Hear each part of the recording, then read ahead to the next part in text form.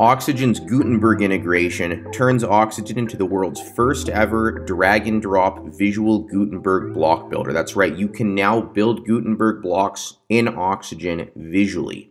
So here I have a little about page that I've uh, I've made up in Oxygen, and let's say I want to make one of the sections on this page a Gutenberg block. I just click on the section, go over to the structure panel, click the menu icon, copy to block, and I'll call this my Gutenberg block. Click OK, and this is now a Gutenberg block that can be added in Gutenberg, and the text, the links, the images can be edited directly inside of Gutenberg.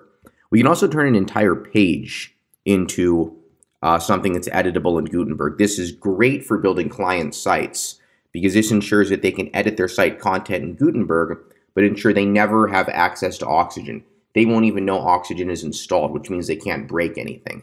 So let's go ahead and do that for this page. So I'll save the page, go back to the WordPress admin, and I want this to be editable in Gutenberg. I'm just going to check make this full page editable in Gutenberg. Save. And boom, this page is now editable in Gutenberg. So I can change this text. I can change this text. You can edit whatever you want uh, in terms of text, images, icons. So let's say I want to swap out this image. I just click on the image. Let's upload a new image. And there we go. There is our new image. So the client can now edit their site in Gutenberg. They'll never know Oxygen exists. So you don't need to pay for white labeling. Like with Beaver Builder, it's $399 for the license that includes white labeling. Well, in Oxygen, we just have the role manager. So you can just go over to Oxygen settings. I won't save those changes here. And I'll just go to role manager. And we're going to give the editor, the client, instead of having full access to Oxygen, no access.